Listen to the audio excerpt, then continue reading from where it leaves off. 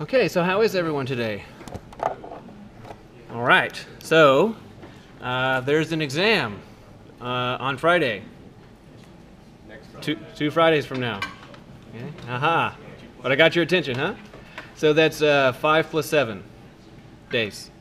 Okay? Five plus seven days. Uh, there's an exam. Yeah. Good. Notably, notably, it's at seven o'clock in the evening. that means that it's you know not in here at this time. okay, good. So today's the seventeenth.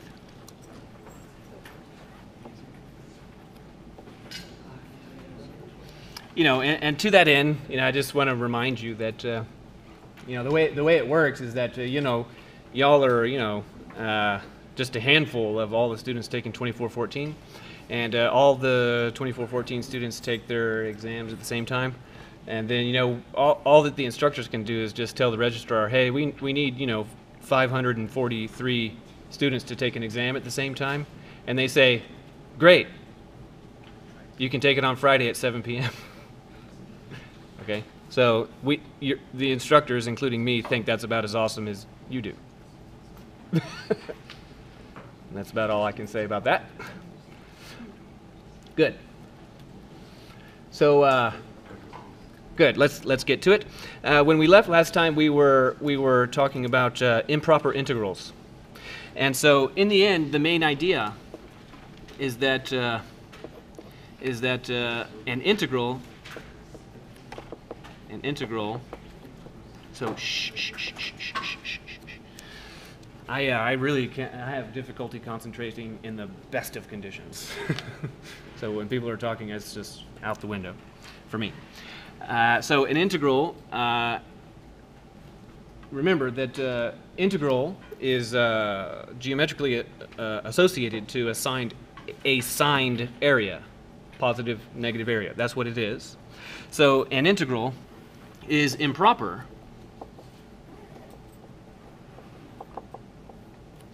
uh, when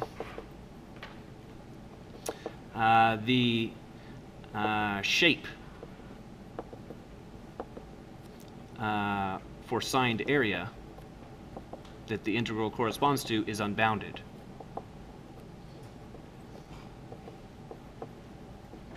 So we uh, we saw uh, a, a couple of examples. Okay, so then in the first place, it could be it could be that the shape in question is uh, vertically unbounded. So that means like uh, it's approaching like a vertical asymptote, say. It could also be the case that uh, the the region of integration is unbounded. So you know, like maybe you're you're integrating from five to infinity. And as a result, uh, it's unbounded. So a quick a quick uh, but accurate way to conceive uh, whether or not a shape is unbounded is to ask can I draw a circle around it? Even if the circle is really big, it could have radius, you know, the size of the galaxy. Okay, but if you can draw a circle around it, it's bounded. Otherwise, it's not. So uh, here's here's an example. We were working on this last time. So integral uh, zero uh, zero to five, I think I can't remember, of logarithm of w dw. So innocuous enough. Uh, however, um, as it turns out, this integral is going to be improper. Now, why? I'm sorry? All right. Uh, so it has to do with, you know, how does, uh, you know, what does this, uh, what does this, this signed area look like? So it would be this. So as a sketch, as a sketch, mm, it would look like this.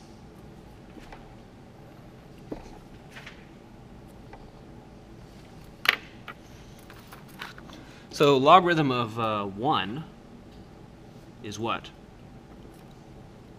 Zero. It's 0. Now from here, it uh, goes up you know, quite slowly in a sense, as fast as uh, as fast as a exponential goes up, that's a logarithm has inverse behavior. This goes to the right super quick. Okay, then uh, we go down, and then, uh, you know, all, all the way down like that. So that's going all the way down. And uh, we want to integrate from, uh, from 0 to 5. So if this is 5 right here,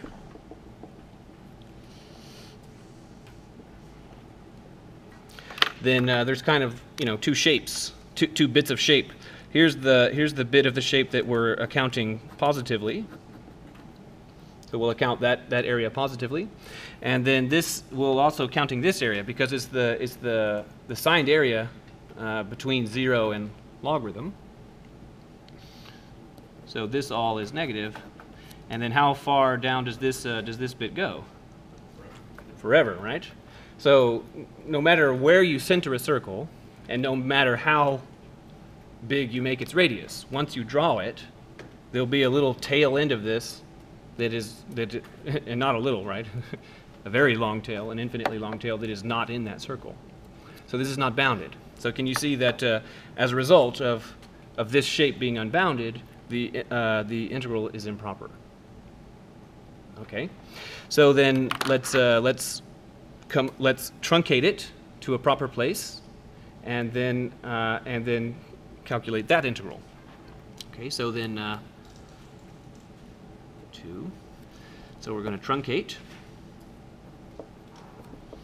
So now what I want you to see is that uh, is that you know this it's this place over here, uh, zero, that constitutes the problem. Okay, so what we're going to do is we're going to take this interval, zero to five, and uh, instead of integrating zero to five, what if we cut it like you know like right there, say. What if we were to cut right there? So I could say let. Now I need a variable. What variable do you want to use? Can't be W. Phi. All right. So let uh, let uh, phi be in zero to five like this. You said phi, right? Yeah. Okay, good. I'm gonna I'm gonna make good work of of phi and five. okay, so I'm gonna let it be in there. And uh, that means that phi is some number uh, that's in between, on the line there, in between my index fingers, but not 0 and not 5. Okay, and then just, just for the sake of the drawing, I'm going to I'm gonna go ahead and draw it even to the left of uh, 1. Uh, so, I'll, so in that case, uh, I could consider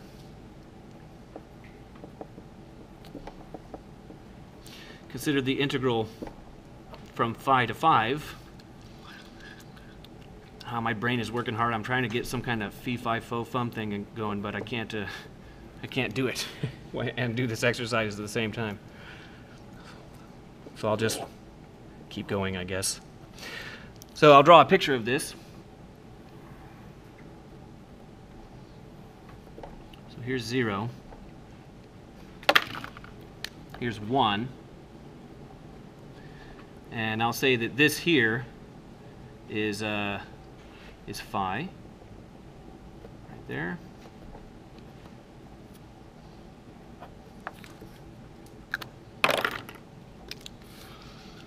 And I need a, I need five.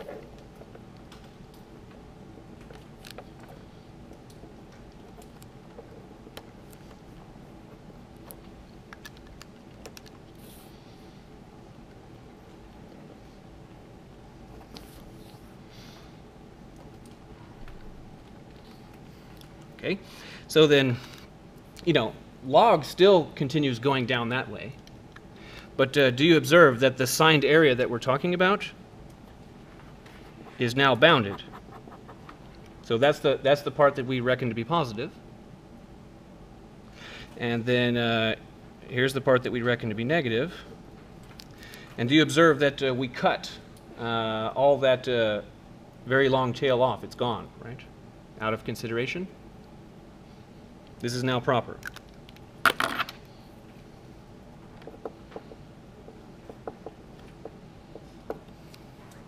Uh, as a result, uh, we're gonna we can do this one. Now, you might ask, well, why are we going to do that one? The reason why we're going to do it is because if we, if we, uh, if we integrate phi to 5, that'll give us some number. And uh, in, in particular, uh, it, will be, it will be a formula in terms of uh, phi. And, you know, to get to the original problem, where do we want phi to be? Right, we want it to be at 0. So if it's here, if it's right here where I drew it, that's surely not the correct answer. But if I, if I were to just, you know, nudge it over a little closer to 0, I'd be closer to the correct answer, right? And then if I were to nudge it even closer still, I'd be closer still to the correct answer. So what we're going to do is we're going to integrate this, as written, and uh, then we're going to let we're going to compute a limit. What limit? The limit as phi goes to zero, the place where we need it to be. Uh, and in particular, it has to go to zero from the right-hand side. You, you can't uh, have it coming to, going to zero from the left, right? Okay. So uh, let's calculate. So integral phi to 5 logarithm w dw. And now that we're doing a proper integral, it would be terrific if we could use the fundamental theorem of calculus, which is to say, uh, we'd like to consider the corresponding antiderivative. So ignore that it's an integral for a moment and ask, what's the antiderivative of the logarithm of w dw? Nah. So that's the most common wrong answer. So I'll write it down, what, what I heard. So 1 over w. So this makes the greater sad. A little tear there. So that's not right.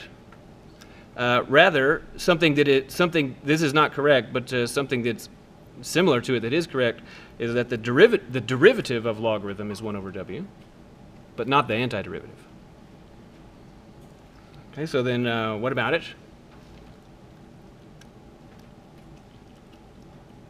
Yeah?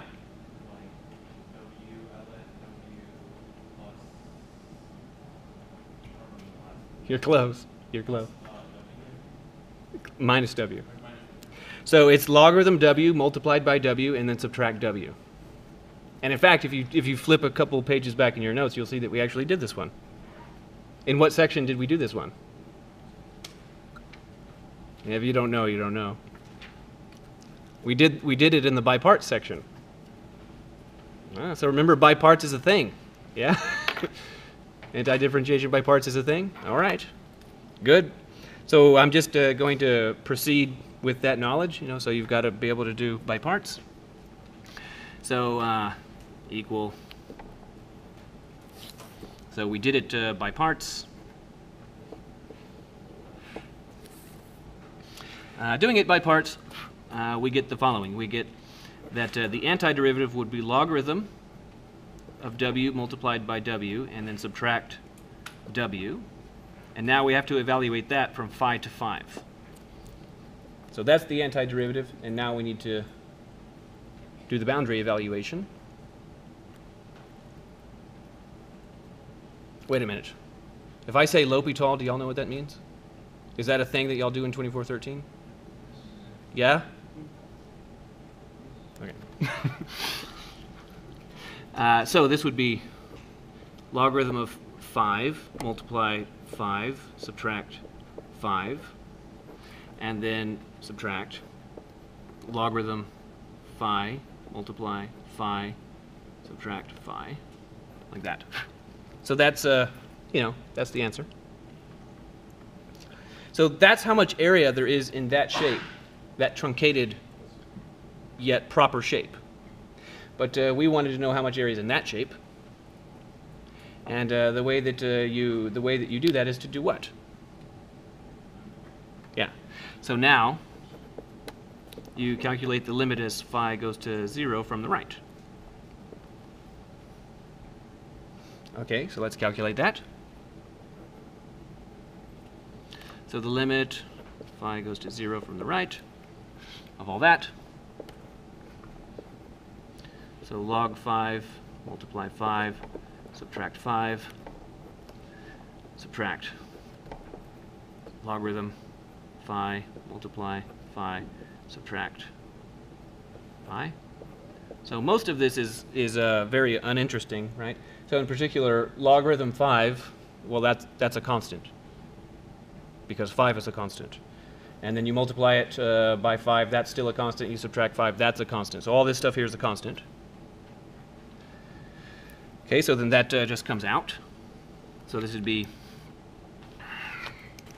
this would be uh, logarithm 5, multiply 5, subtract 5. And then now uh, that uh, subtraction I'll can distribute, uh, and we'll get get what? I'll say, uh, how do I want to do it? Like this, I guess. The limit is phi goes to 0 from the right. Oops.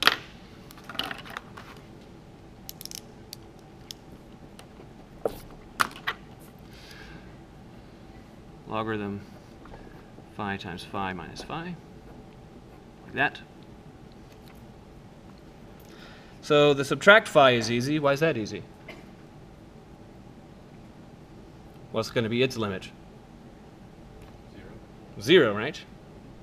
In the end, because, uh, well, just, just concerning just that right there, uh, that's a polynomial in phi, right? A polynomial of degree 1. So uh, because, it's a, because it's a polynomial, it's continuous, and uh, computing the limit of a continuous function is the same as plugging in. So you can just plug in 0 for that. But uh, this one is more interesting. Why is this one more interesting?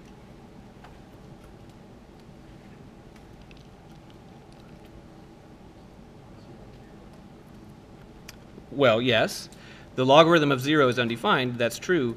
Uh, but that, but we're not we're not at zero. We're computing a limit as we go to zero. So where does the logarithm of uh, phi go as phi goes to zero?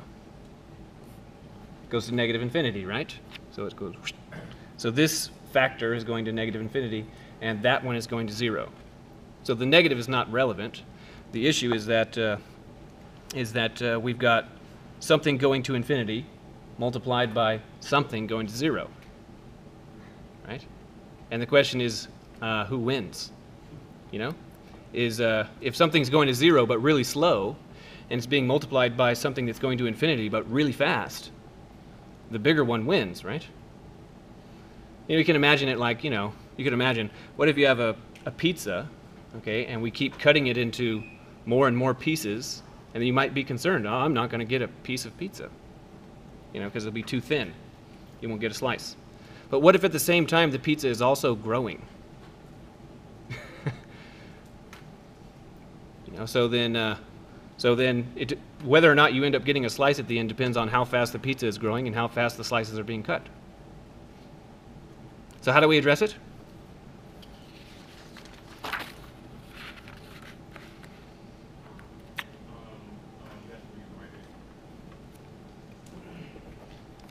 Logarithm 5, multiply 5, subtract 5, and then minus limit phi goes to 0 from the right, log phi times phi uh, and then subtract zero because I, you know, I plugged that in, that one. Okay, so then now, uh, looking at this one, you know, what I want you to see is that, uh, is that uh, currently this limit is of the form infinity multiply zero. And it's not, it's definitely not equal to infinity multiplied by zero. That doesn't mean anything, but uh, it's in that form. Uh, so this is a sick limit. So we need to take it to the hospital. right? right? Okay. So I'm gonna I'm gonna pause this. I'm gonna pause this, and then I'm just gonna so I don't have to keep writing that uh, these other bits, and I'm just gonna pull it pull this out and just just deal with it. So we, we're gonna take it to the hospital. Uh, good which is it's even kind of funny, right? Because you know French is not the same as English, obviously, and uh, one of the ways to write l'hôpital uh, is using an S, and it looks like hospital, but that S doesn't evidently doesn't mean a S in English. I don't really know. Uh, so then it's it's in this form like that, and uh, what I'm going to do is uh, instead of multiplying by something, you can divide by its reciprocal, right? Or if you like, instead of dividing by a fraction, you can multiply by its reciprocal. So what I'm saying is that, uh, in fact, the way we can view this is that uh, I'll view it as, instead of viewing that as a multiplication, I'll view it as a division. And if I view it as a division, what needs to be down here? Instead of multiply by phi, I'm going to divide by 1 over phi. Right? Because dividing by 1 over phi is the same as multiplying by phi, right? Y'all did L'Hopital's rule, right? Okay, good. I'm kind of getting some blank looks here. Uh, so now, uh, that being the case, uh, the numerator is going to negative infinity, and uh, the denominator is going to positive infinity. So that means that uh, the purpose of making this change from this from this product inde indeterminate form, the purpose of saying multiply by phi is the same as divide by 1 over phi, is that now we're in this indeterminate form. So I guess that's really negative right there. And this would be negative infinity over infinity. And uh, now that it's one of these ratio indeterminate forms, that means we can use L'Hopital's rule. So what's uh, what is L'Hopital's rule?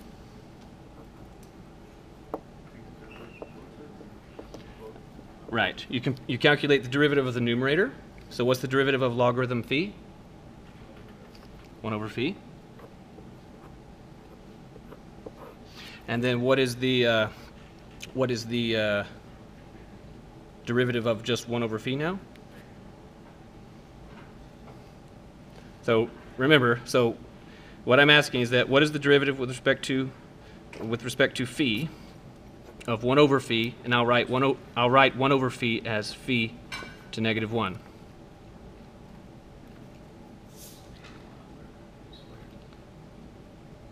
Right. So it would be negative 1 multiplied by phi to negative 2. So as, as you say. So that'd be uh, negative uh, 1 over phi squared, like that. Now, strictly speaking, it's still in that form, right? Because this is still going to... Uh, what? Where's the 2? Oh, but that, but uh, only if I differentiate again, right? So this negative 1 went to the front. Did I miss a 2 somewhere? I don't think so. So the two, this 2 would be as if we differentiated yet again.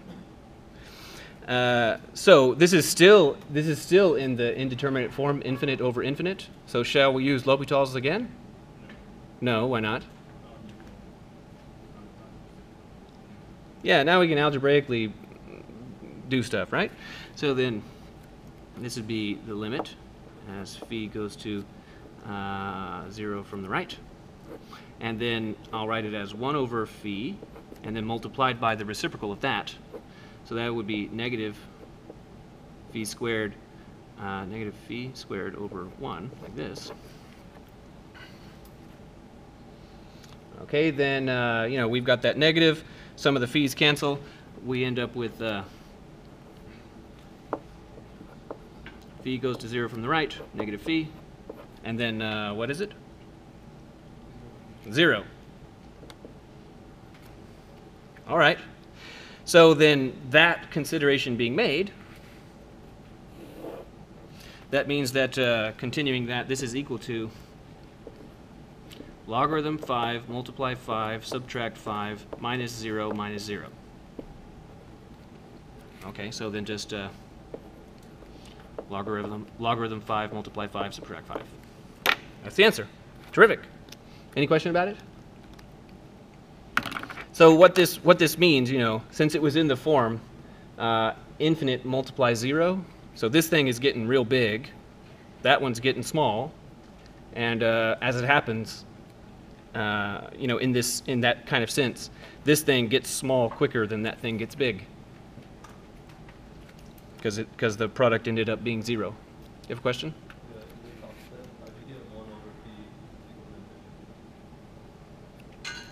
Here?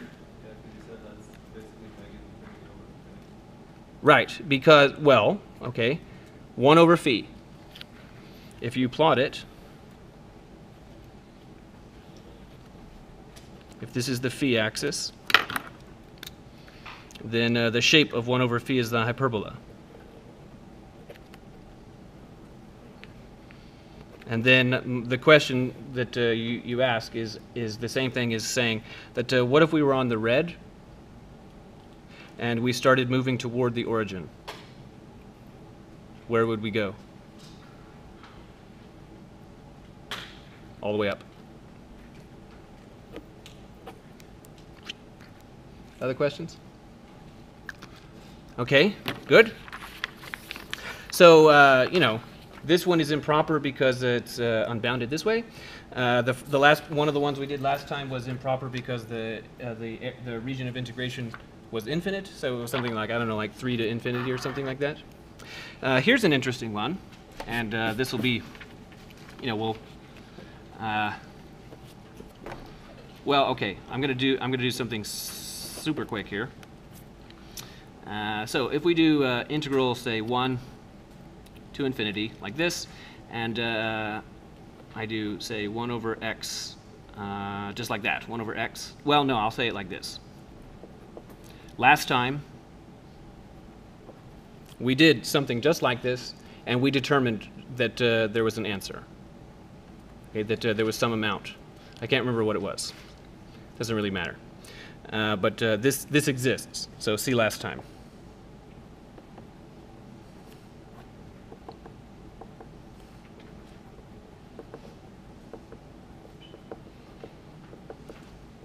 So we, uh, we took this, we, we, we, we said, oh, it's the, the shape is unbounded, so the integral is improper, so we cut it.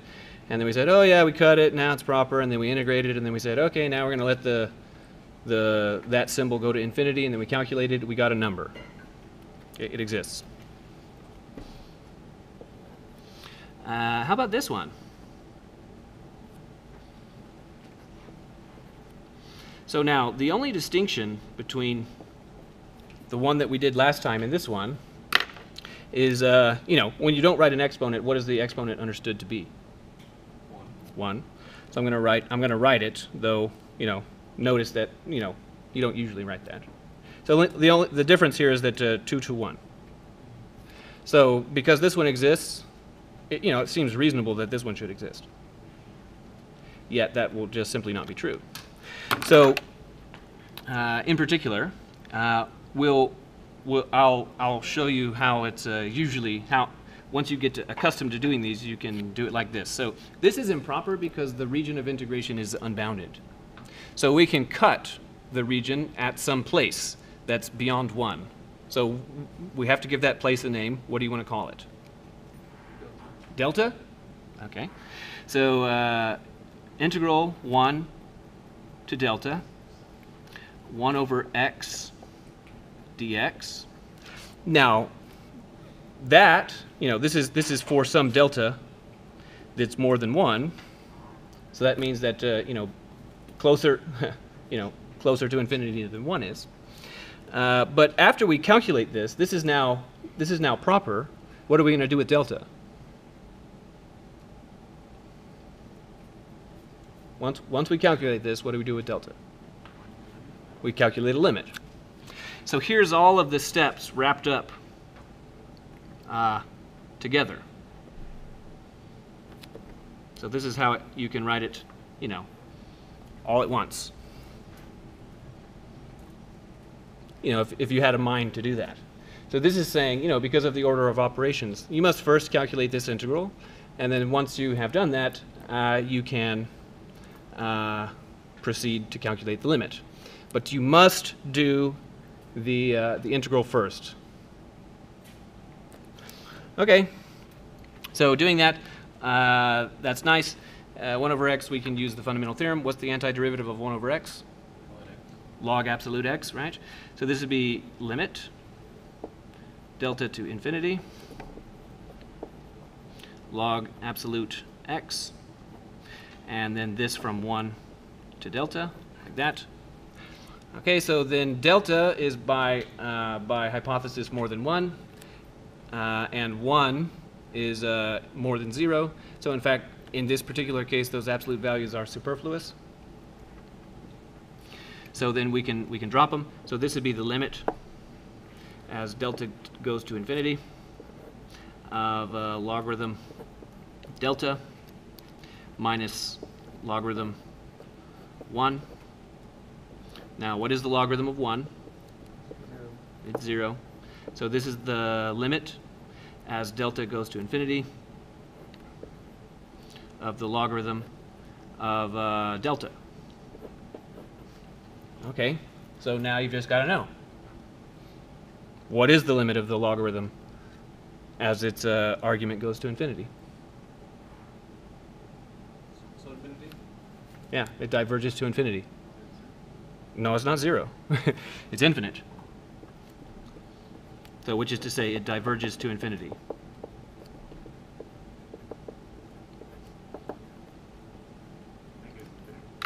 Uh, no. Not negative infinity, because uh, remember, a logarithm looks like this. So if this is the if this is the delta axis,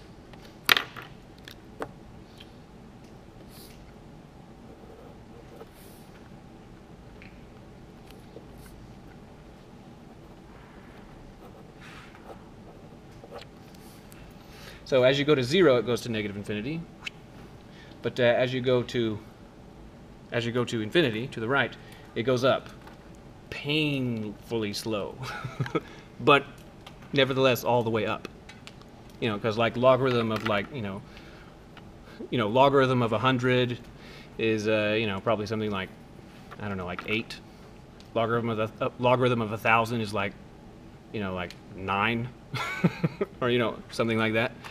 Uh, very slow, but it does make it all the way up. So what I want you to observe here is that uh, concerning these two shapes, concerning those two shapes, uh, you know, what does that one look like? And what does that one look like? Like my hand isn't even good enough to, to show you the difference between those two, as how they look as pictures. What I mean to say is that, uh, you know, 1 over x squared versus 1 over x, you know, from 1 to infinity,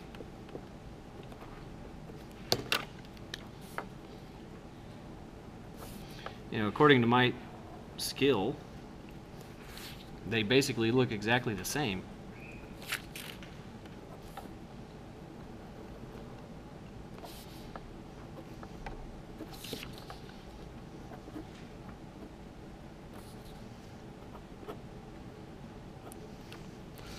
And uh, we're talking about this area and this area. You know, so what I'm saying is that according to my skills as an artist, uh, you know, I can't really make them look much different. They look a little bit different if you use a machine to plot them, but they don't look that different. Uh, but uh, nevertheless, if you look at last time, or if you just take the time to calculate this one right here, you'll find that uh, the amount of green there is uh, like one. That's how much. So like if this was measured in gallons, you could you could use one gallon of green paint to paint it. But uh, for this one, it, it, uh, no amount of green paint would suffice. Infinitely much paint. And uh, if that's surprising to you, uh, then in the end, all, all, all the, the, reason for the surprise is that, uh, you know, you're, it's, human beings are built in with an intuition about finite matters, but not infinite matters. So part of a math education is figuring out, uh, oh, okay, well, if something is, uh, has infinite extent or consists of infinitely many pieces or there's infinities going on, then your intuition can break significantly, like this. Uh, fine. So then this all comes to a head uh, in the following remark, is that, uh, well, if it works for two, you know, you, apparently that requires a finite an area. That that uh, ends up with a finite area. And if and uh, if for one that's a you know evidently an infinite amount of area, then the question is is you know which ones will it work? Would it work for three? Would it work for two and a half? The the answer to the question is this. So generally, we have this. Under what circumstance will that converge? Okay, and uh, the answer is, uh, is this. So this converges, converges when p is more than 1.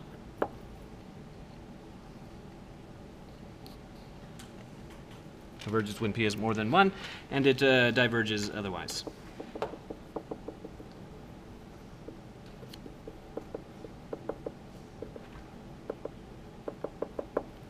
So, uh, that's a that's a useful uh, tool you can use to be able to you know answer questions quickly. Uh, so you know something like something like this, say. Uh, I could I could ask you, how about uh, integral one to infinity of mm, say uh, three over four square roots of x. So this is a, and you know the, these these integrals are so important that in fact they have a name, and uh, these integrals are called p integrals.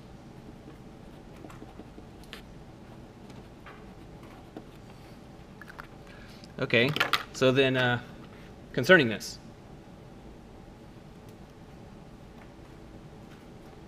how can we answer? X squared is x to the one half, so not converge. Right. So then, you know, those constants are this, just there to, you know, mess with you. So then factoring them out and then writing this as 1 over x with uh, exponent half dx, like so, then uh, do you observe that, uh, you know, besides the multiplication by 3 fourths, which is not relevant, this is a p integral with p as half.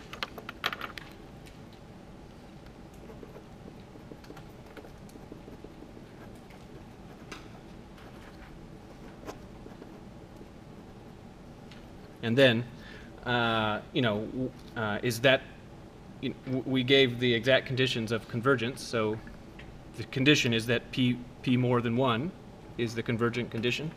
And uh, as a result, this diverges, and there's nothing more to say.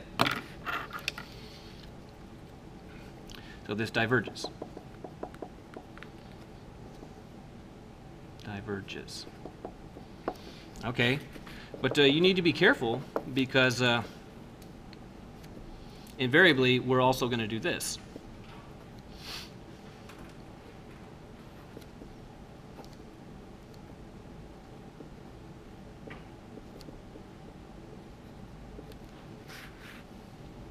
So now it's uh, pretty similar looking, right? I still stuck that 3 in there and the 4, you know, to try and, you know, mess with you.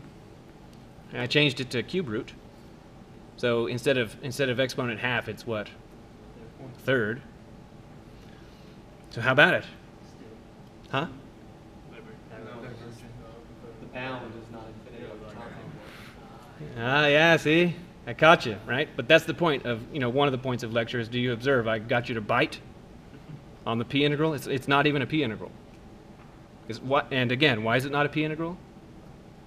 Because bound doesn't go from one to infinity. Right, it's not 1 to infinity. It's 0 to 1. So it's different. Uh, now, we don't really talk about it a lot, but uh, essentially what happens is, is that, uh, is that uh, there's kind of two manifestations of p integrals. There's this kind, the one that, uh, the one that we wrote down on the previous page up there. Okay, so 1 to infinity, 1 over p, 1 over x to p like that. And then, uh, you know, you can also consider this variety, 0 to 1, and then I'll write it, I'll write it as q, uh, 1 over q like that, dx like that. And uh, they're very similar, but the, these are the only ones called p integrals. You know, and if in your head you wanted to call these q integrals, that'd be okay. But uh, the, the convergent condition is in fact, is, is in fact opposite. Okay? Uh, I'll leave it to you to try and figure out what that means. Okay? All that, and all that I mean is that uh, when, you, when you're trapped between 0 and 1, instead of, you know, between 1 and infinity, uh, the, these two uh, conditions swap. Okay, so then let's do that uh, super quick. So then this would be 3 quarters, integral 0 to 1, and then I'll write it as x to negative third dx, like so. we can use the uh, fundamental theorem. Fundamental theorem says that this would be what, x to 2 thirds over 2 thirds? And then this all evaluated 0 to 1. Uh, dividing by that fraction is the same as multiplying by its reciprocal. So this would be 9 eighths, uh, x to 2 thirds, 0 to 1.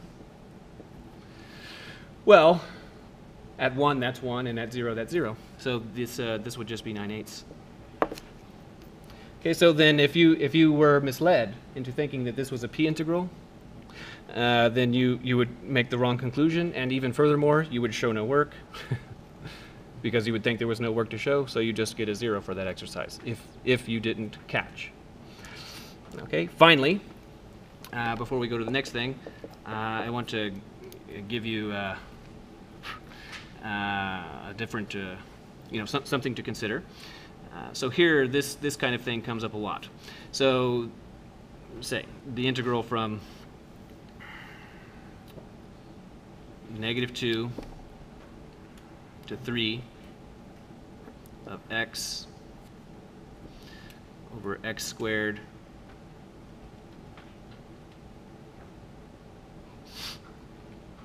Come on, brain.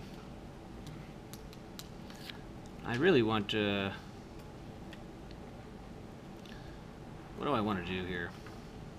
I want this to be... Uh,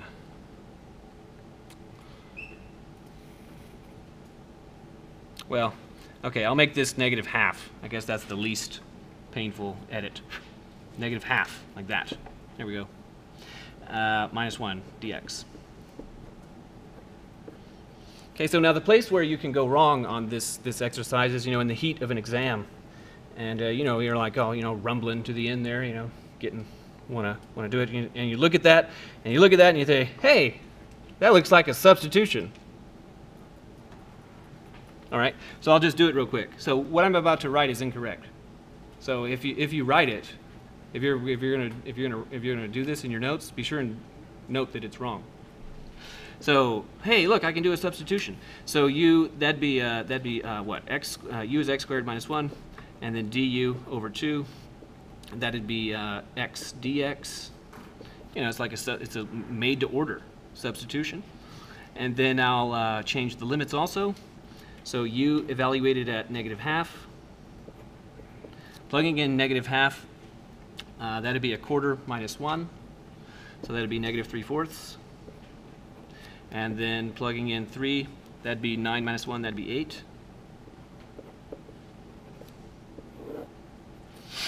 Okay, so then this would be, uh, after that substitution, the integral negative 3 quarters to 8, and then 1 over u, uh, 1 over u uh, du over 2. And then the half comes out, And uh, so the half comes out, and ignoring that, uh, what's the antiderivative of 1 over u du? Log absolute u. So that'd be log absolute u, negative 3 quarters to 8. And then, oh, it's a good thing we had that absolute, because otherwise we'd have a problem there. So this would be, uh, you know, because logarithms only defined for positive inputs. So this would be logarithm 8 minus logarithm of 3 quarters because the absolute value, uh, you know, matches the negative. Nevertheless, this is, this is just uh, absolutely and fundamentally uh, misguided and wrong. What's wrong with this?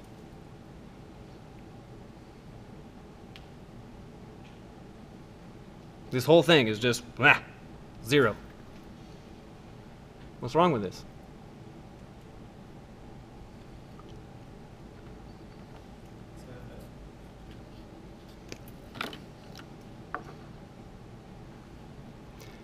What, what's the name of the section that we're in? Improper integrals. And what does it mean to be improper? This is not proper. What does it mean to be improper? Yeah? Right, but what does it mean to be improper? The shape that right, at some point, ln is gonna have to be evaluated at zero, which is in the undefined, because your zero is between that negative one half and three. It's uh, it's not that it's uh, it's it's not uh, that it's well, yes, okay, I agree with that, but to even before that, even before you get there, uh, notice that uh, you know for for this thing that that uh, is in between my fingers here like that, uh, can can you plug in one? No. Can you plug in negative one? No. No. Right? And in particular, uh, this, this thing, okay, this thing will have vertical asymptotes at those locations at negative 1 and 1, which means that uh, it would not be permissible to integrate up, up to them like we were doing before. And it surely wouldn't be permissible to just integrate straight across it, right? Just, ah, I just go just past that vertical asymptote. See the problem? So uh, in here, in this interval, at 1, there's a vertical asymptote. And what we just did, in a sense, is we just integrated right across it. That's why uh, I had written something there, and I was thinking, where, where do I want to put this one? So I wasn't integrating across two of them. Okay, so then, so this is, uh, this is just utterly wrong, this whole thing. Uh, because, uh, you know, just blah. Because a student fails to recognize that it's improper. So now, the way to go about this uh, correctly is, you know, to consider a sketch. And so how does this look?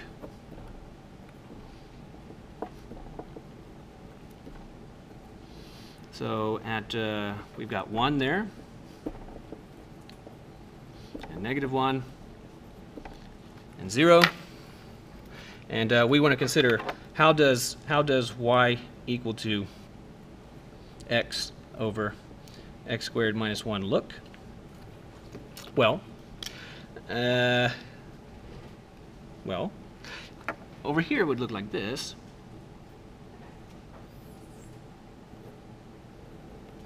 So we'd have that. And then, uh, you know, at 0, it's 0, so we'd have that. Like that.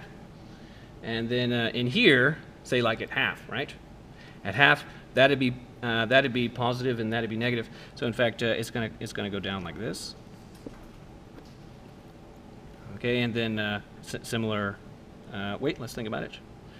Uh, over here, be negative and negative. So in fact, what does it do? Go up like this. So it does this. That way. And then uh, over here, it does what? Uh, so over here, that'd be positive over negative, so it'd be negative. So it's going to do this. So this is what uh, that graph looks like. And then where, what were we integrating? well, we were, we were integrating from negative half to 3. So we were going from here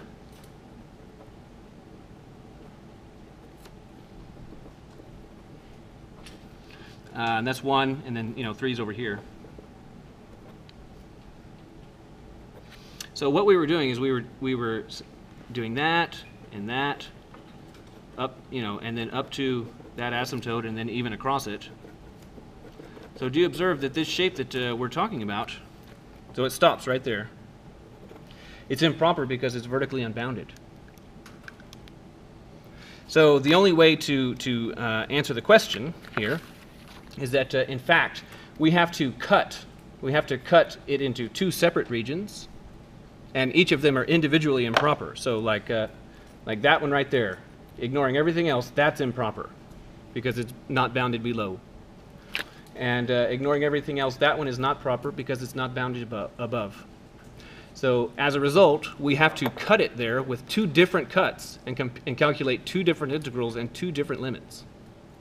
So the integral in question uh, has to be done like this. So negative half to 3 x over x squared minus 1 dx.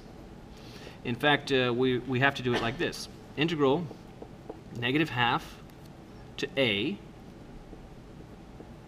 x over x squared minus 1 dx. Ooh, I missed. Need to put a limit in here. So equal to limit as a goes to the problem from the left. And then plus the limit as b goes to the problem from the right, b to 3, same thing.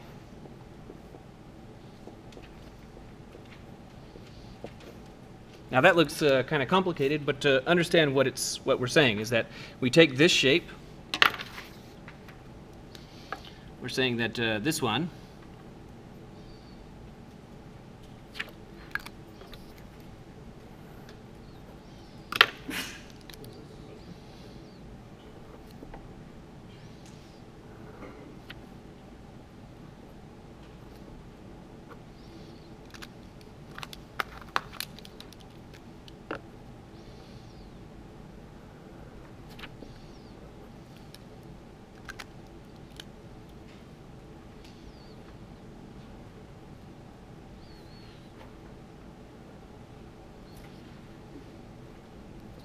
So we're uh, calculating this shape.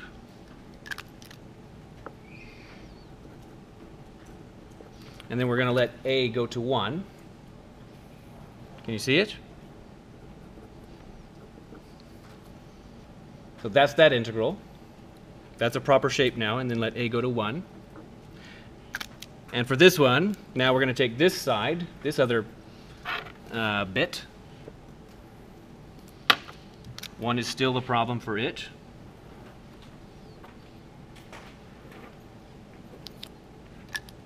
Now we're going to integrate from b to 3 instead.